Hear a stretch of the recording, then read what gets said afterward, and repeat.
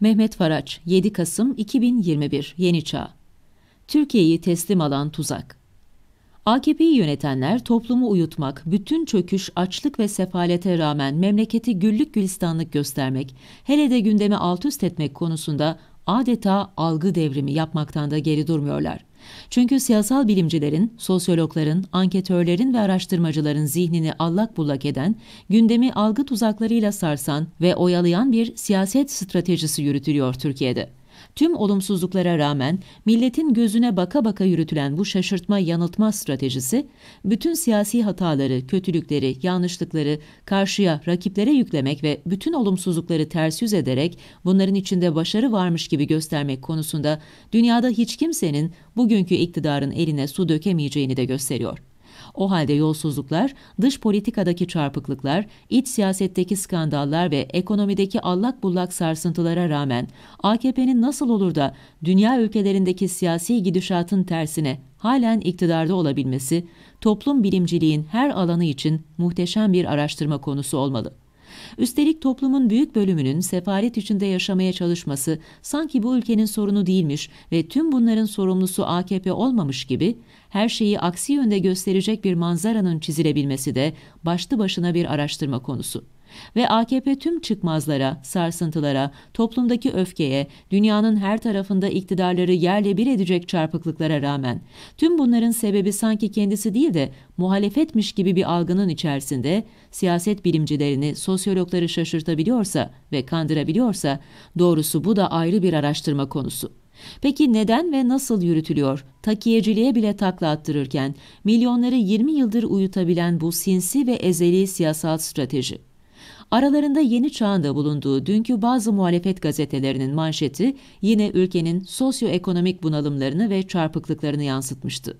Mesleğini ahlaklı yapan her gazetecinin az bile yazmışlar diyebileceği o manşetlerin tamamında 5 büyük markete kesilen 2.6 milyarlık kartel cezasına rağmen gıda fiyatlarının halen nasıl olur da zirvede olduğuna ve bu çarpık düzenin kimden cesaret aldığına da dikkat çekilmişti.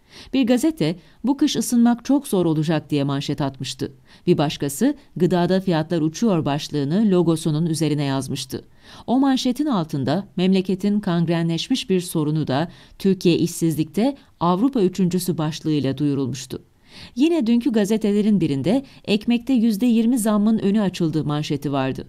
Asgari ücretli çay ve simit alamaz hale geldi. Memurlar Ankara'nın göbeğinde cüzdanlarını yaktı şeklindeki bir manşet ise bir başka gazetenin birinci sayfasını kaplamıştı.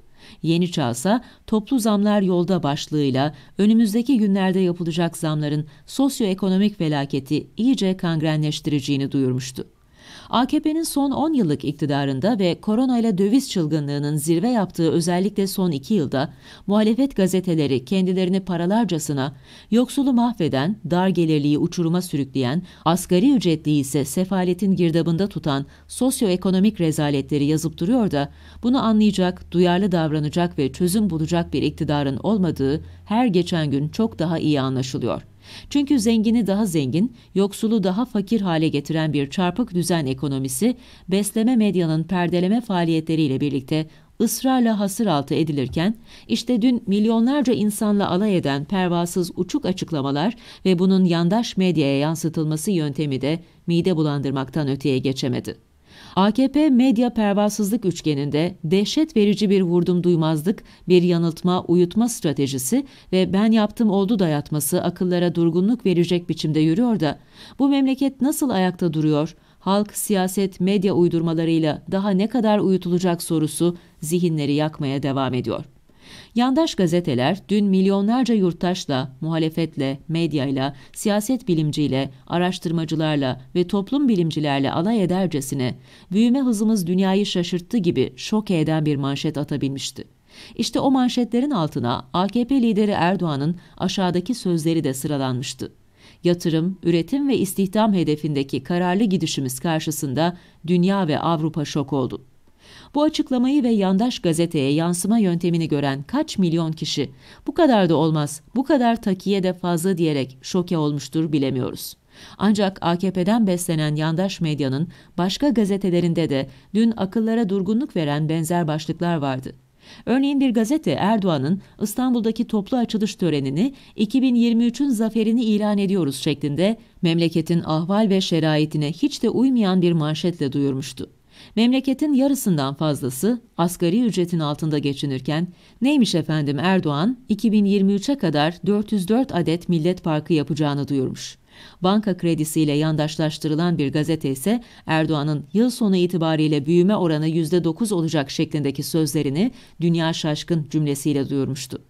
Evet yandaş medya ile muhalefet matbuatının gazetecilik anlayışının çelişkisinde kalan vahim manzara hem siyaset bilimcilerini şoke edecek hem sosyologları şaşırtacak ve hem de toplumun büyük bölümünü uyuturken bir bölümüne de pes dedirtecek çarpıklıklar içeriyor. Bu çarpıklıkların içerisinde üzerinde en çok düşünülmesi gereken tek konu AKP'nin takiyecilikte bile büyük aşama kaydetmesi değil. Asıl mesele iktidarın medyası ve yandaşları ile birlikte bu ülkeyi sanki AKP değil de CHP İyi Parti ve diğerleri yönetiyormuş gibi akıllara durgunluk verecek bir algıyı başarıyla yayabilmesidir. Aksine muhalefet iktidara taarruz etmesi gerekirken, iktidar muhalefeti her gün akıllara durgunluk veren iddialarla hedef tahtasına koyabilir miydi bu ülkede?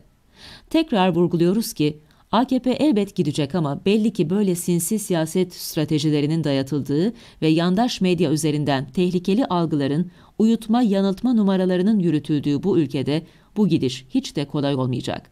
Bu ülkede AKP ile AKP'nin politik oyunları, yöntemleri ve algı stratejileriyle mücadele edecek bir siyaset anlayışı da üretilmeli ve selam.